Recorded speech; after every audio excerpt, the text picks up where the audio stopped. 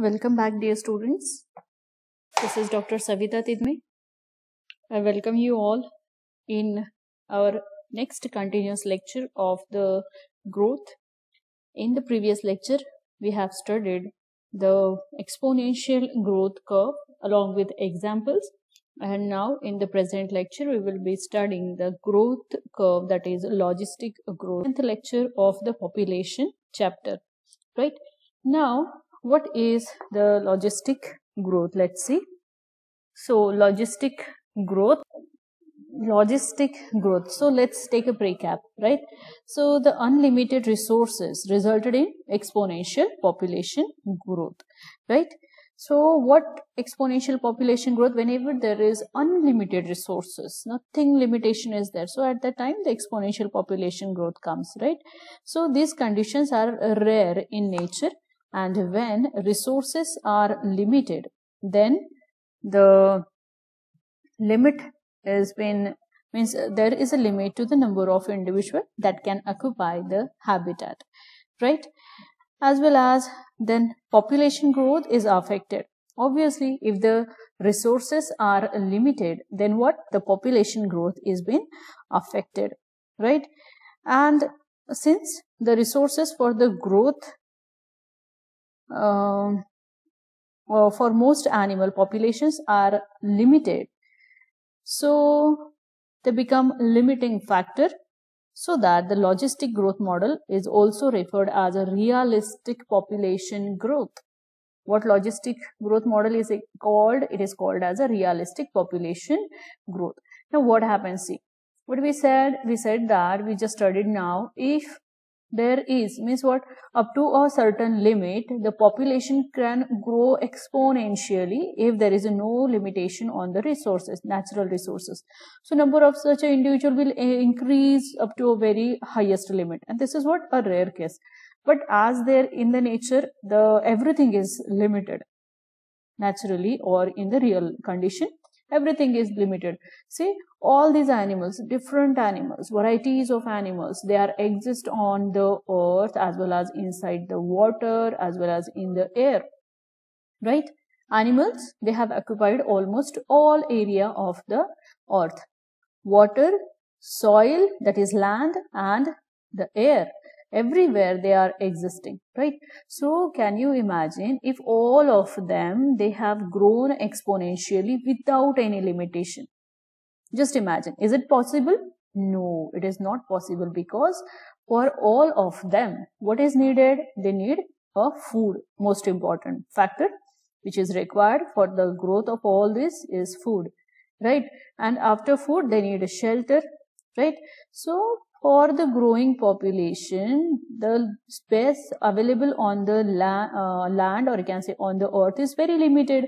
Whatever is part of a soil is only limited part, no. Whatever environment, air is there, again, that again act as a limiting factor. Water, inside the water, number of organism, if they grows, what, where they will go? It is limited. So the abiotic uh, factors, they are limited so as to provide nourishment to all of them and hence the population cannot grow exponentially for all the cases, right? Because the food is limited, air is limited, or you can say water is limited, resources, natural resources, they are limited. So population, they cannot grow uh, exponentially for all the cases. For the rare one, it is possible, but after that, it again start declining, right? And uh, in some cases, uh, this uh, population means the growth is the most fundamental and dynamic feature that a species population displays right even the population characteristically increases in size in a sigmoidal or it is also called as a s-shaped curve or it is called as a logistic fashion means a realistic fashion. Because in the real life the animals they are dying in absence of food. Animals they are dying in absence of shelter. Animals they are dying in absence of habitat right? Because see uh, latest example we can take. Uh, recently some animals from the forest they migrated to human habitat. You might have seen tigers or even cheetahs or wild elephant, they also migrating to human habitat. Number of cases nowadays coming to uh, appearance coming in front of us, right? Why this happen? Why the wild animals they enter in the human habitat? Any guesses? Because of the destruction of their habitat, right? Human has entered everywhere, destroying the habitat of wild animals. And where they will go? If their habitats are destroyed, where they will go? They will come to us. They will come to our habitat. They will come to our houses. And this is what happening today. Because the resources are limited. No, land is limited.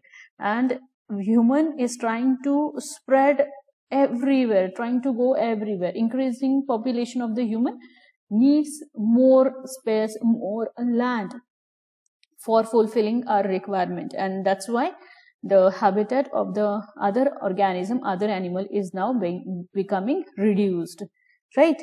So the growth is the most fundamental and dynamic feature that a species population displays, right? Population characteristically increases in size in a sigmoidal fashion or S-shaped curve or a logistic fashion. And when a few organisms are introduced into unoccupied area, means the area where nobody is residing, the growth of the population is first slow. Okay, that is positive acceleration is seen, then becomes very rapid, that is logarithmic phase, and then finally slows down as the environment resists increase in the uh, number of organism. So that is negative acceleration is seen, right? And because of that, the number of individual on this planet, beautiful planet Earth is again become limited. Right? The number of organism on this beautiful planet Earth is now become limited because of the limited resources available on the planet Earth. Right? Okay. So, the level beyond which no major increase can occur represent the uh, saturation level or carrying capacity. So the number of organism on the planet Earth or in a particular habitat is what uh, increases up to a particular level, up to a saturation level. That saturation level is nothing but the carrying capacity of that habitat. And beyond the carrying capacity, not any habitat is going to harbor not any habitat is going to survive okay? So the environment resist uh, increase in the population beyond a limit right? So here is a sigmoidal growth curve that is S shaped growth curve or it is also called as a which is logistic or realistic growth curve. Now as we have logistic example uh, logistic uh, formula is already been studied. Okay. Let's take a quick recap of that logistic formula. Yes this is what the logistic equation. Dn divided by dt. N is the number. Again the, we can say time scale R0, R, N, K minus N divided by K. What is that? R0, innate capacity of the population.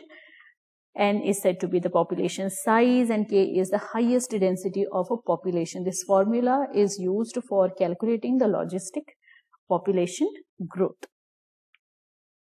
Okay. All right. Uh, yes. Okay, then let's see what this logistic or sigmoidal curve says. In the logistic or sigmoidal curve of the growth, the initial growth rate is rather slow. This initial growth rate is rather slow and this is called as a positive acceleration. Why the initial, see in any kind of a population, if or in any kind of a habitat, if new individuals are introduced, say this is the point of introduction of a new individual to a particular habitat. If new individuals they are introduced, okay they are introduced now initially for initial few years they shows a positive acceleration the number of individual increases with a slow fashion or increases slowly. This is called as a positive acceleration. Why? Because when this individual they are introduced into a particular habitat uh, they need acclimatization right they need a settlement into a new environment and as they need acclimatization or time is required for acclimatizing to the new habitat uh, to the new environmental conditions so the rate of reproduction is obviously slow getting my point? The rate of reproduction is obviously slow. And once they are acclimatized once they are adapted to that particular environment then what happened? The growth of a population into that particular environment is increases rapidly. Okay the growth is increases rapidly. And so this is called as a logarithmic phase or a rapid growth phase okay. And that logarithmic phase is again increases means the growth is uh, the rapid growth is continuous up to a certain point and that point is called as a inflecting or inflection point. Okay. The now see population has already acclimatized. So positive acceleration. After acclimatization the reproduction rate is very fast. That is logarithmic or growth phase. After growth phase this again remains same. The growth is remain to be continued. It's called as an inflection point. point and the state or after inflection point there will be a stage comes in the life of a population or in the population after which the number of population or number of individual in that population is going to be steady. The number is going to be slow down. Increase is going to be slow down. After that the population goes on a steady level or a constant level. So this that point is said to be the negative acceleration phase. Why and how this negative acceleration phase occurs in the mm, any population? Because the population has increased a lot. The number of the population has increased a lot right? So as to provide uh, food shelter means all the necessary requirement to that growing population the environment has some limitations. There is a limitation in the environment. Now environmental factors influence on it influence on it act on it and exert a certain kind of a negative feedback negative force to on the growth of that population right? So that's why there is a negative acceleration phase is seen. Because of that the animal reproduction in the animal or rate of a you can say birth rate is found to be slightly declining after a particular point right? And subsequently the population reaches a maximum limit known as a, asymptom or you can say equilibrium right? And this uh, asymptotes what is nothing but a equilibrium. And this represent the limiting size of the population.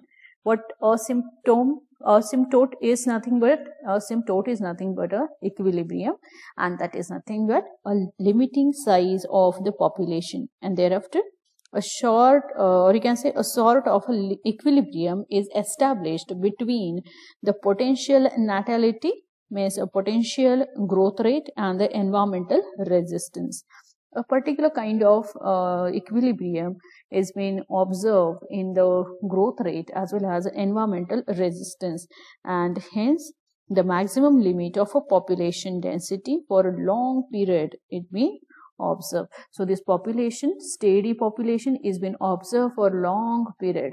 Why? Because the growth rate means a uh, um, birth rate is also limited and then the environment is also exerting some negative feedback or environment is also exerting some kind of a resistance to the growth or birth rate of the population right? So that's why this asymptote is been exist or equilibrium is been observed.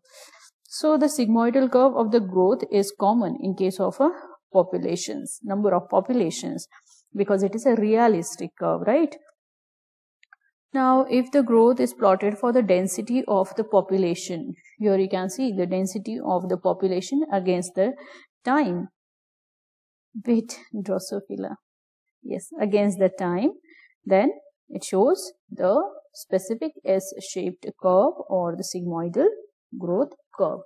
Now, you can uh, ask a question in which type of animal this uh, sigmoidal growth curve is being observed, right? Very common this question can comes in anybody's mind right? So in which type of organism this kind of growth curve is there? Number of organism because this is what realistic growth curve. The very popular one everybody have seen in their houses which is the animal what is the name of it? Yes it is drosophila a common fruit fly. If you keep something open the sweet uh, substance or anything any garbage if it is open it get easily attracted to that uh, garbage or you can say banana ripened banana if kept open it get easily attracted to the banana. So this is the fruit fly that is drosophila melanogaster right? And this drosophila melanogaster significantly showing that curve right? This uh, sigmoidal curve or logistic curve. So it adapted first of all to the environment then it increases increases exponentially. After that the number usually remain constant up to a particular time right? So this is also showing it. Even another uh, animals even you can say rabbit or many other animals they are showing such a kind of growth curve because resources are limited environment is again exerting a negative feedback negative force on the growth rate right so this is a realistic one now let's see the comparison of the exponential growth curve and logistic growth curve. Here is exponential logistic growth curve. Number of individuals, this is time that is arbitrary unit plotted on the y-axis. Now this is exponential growth curve which is a J-shaped growth curve and this logistic growth curve is the sigmoidal or the S-shaped growth curve. Now it's just a revision of what we studied in last two points. Okay, in this exponential growth curve, what happened? Or in the J-shaped growth curve, what happened? The population initially grows, grows up to a certain limit, okay, and the number of individual become highest or maximum in that population. But after particular point, the growth rate or the birth rate is a decline immediately. So there is again what decline in the population decline.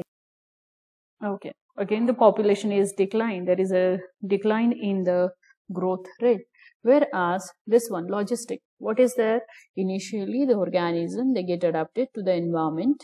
Then they grows means they reproduce exponentially. There is a logarithmic growth phase means highest growth phase after that the growth is become steady right and uh, because of the equilibrium exists in between the organism and the environment the steady growth is been found for number of years or for number of generations right so there is no or no such a uh, quick decline phase as like in the exponential growth curve so my dear students with this we have completed two main points that is exponential growth curve and the logistic growth curve.